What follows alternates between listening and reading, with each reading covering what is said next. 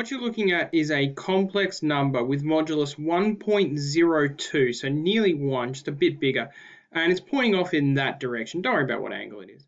Now, let's raise it to the power of 2, and then 3, and then 4, and then 5, and then 6, and then 7. We're going to keep raising it to those powers. We're going to go all the way up to the power of 140. And you can see what raising that complex number to those powers does. Pretty cool. So welcome to De Moivre's theorem, which lets us raise complex numbers to powers. Now you might already be able to figure this out uh, because we already know how to multiply two complex numbers together in polar form. So here's our formula for multiplying complex numbers in polar form.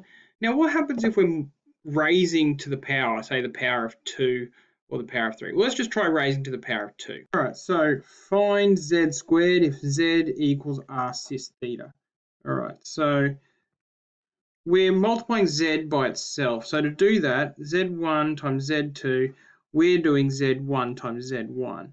So we're going to have to multiply um, the modulus by itself. In other words, square the modulus. And then cis theta, well, we're going to have to add, because it's theta 1 and theta 1, right? Because they're the same ones. We're going to have to add them together. And theta plus theta is the same as 2 theta. All right. So what about like z cubed? Well, that'll be r1 times r1 times r1, which is r cubed.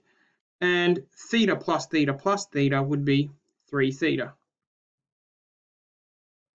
All right, so you can probably figure out the, the rest of that. So now we can just jump into De Moivre's theorem, the formula. So De Moivre's theorem says that if you've got a complex number in polar form and you want to raise it to a power, it's going to be equal to um, the modulus to the, that power, cis, uh, the angle multiplied by whatever that power was, as long as those powers are integers. Um, all right, we can just do it now. All right, so first one, evaluate cis pi on 3 to the power of 9. Now we can sort of think of that as 1 cis pi on 3 to the power of 9. So what's that going to be? That's going to be equal to 1, the modulus to the power of 9, cis uh, 9 times pi on 3. Now obviously 1 to the power of 9 is 1 and cis 9 pi on 3 is the same as 3 pi. Now we can um, move 3 pi around, so 3 pi is pi, 2 pi, 3 pi. So that means that this is the same as 1 cis pi. Now the question sort of says evaluate, so hopefully that gives you a clue.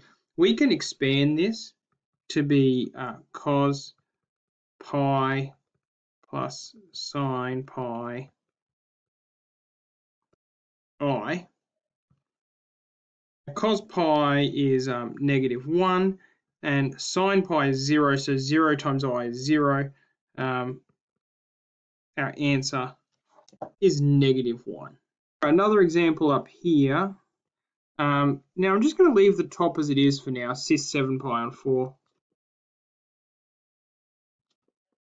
Now the bottom, that's cis pi on 3 to the power of 7. Now again, we can think of this little 1 out the front. So it's 1 to the power of 7 and then cis 7 times that. So it's just 1 to the power of 7, which is 1, and we end up with cis uh, 7 pi on 3.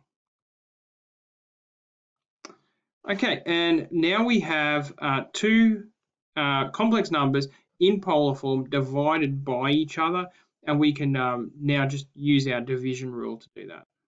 So that's going to be equal to uh, 1 divided by 1, just write it out there, don't really need to, cis, and then 7 pi on 4 minus uh, 7 pi on 3. Uh, and the 1 over 1 is just 1, so we can just write cis there. Now, both of those are going to be have to over 12 if we're going to be able to do this. Uh, so it's 21 pi minus uh, times 4, 28 pi. And now we have cis 21 pi minus 28 pi is 7 pi or negative 7 pi. over 12. Can't sort of bust that up further. We can't jump in here and start mucking around because 7 pi and 12 isn't one of those nice, neat uh, little um, fractions of pi that, that we've got some values for. So we're sort of finished there. Tick, tick. Last example here, it's one of those ones where, well, De Moivre's theorem only really works when they're in polar form, and I've been given it in Cartesian form. So my first step here is to convert uh, 1 plus i and 1 minus root 3i into polar form. Now I'm not going to make you sit through that. All right, so I've converted 1 plus i into polar form. I've converted 1 minus root 3i into polar form, uh, and they're both being raised to the power of 5. Um, now from here, we can use De Moivre's theorem. So it's root 2 to the power of 3. It's cis 3 times pi on 4 all over 2 to the power of 5 cis uh, negative 5 negative 5 pi on 3. All right, uh, so that's going to be, uh, that can stay as 2 root 2. And now we have cis 3 pi on 4. That can stay as it is because that's, that's, that's right. That doesn't sort of change much. Uh, 2 to the 5, 2, 4, 8, 16, 32. Cis, uh, negative 5 pi on 3 that feels right. That's uh, less than negative pi. Actually, no, that's all the way around the circle. Pi and 3, 2 pi and 3, 3 pi and 3, 4 pi and 3, 5 pi and 3. So that's actually the same as positive pi on 3.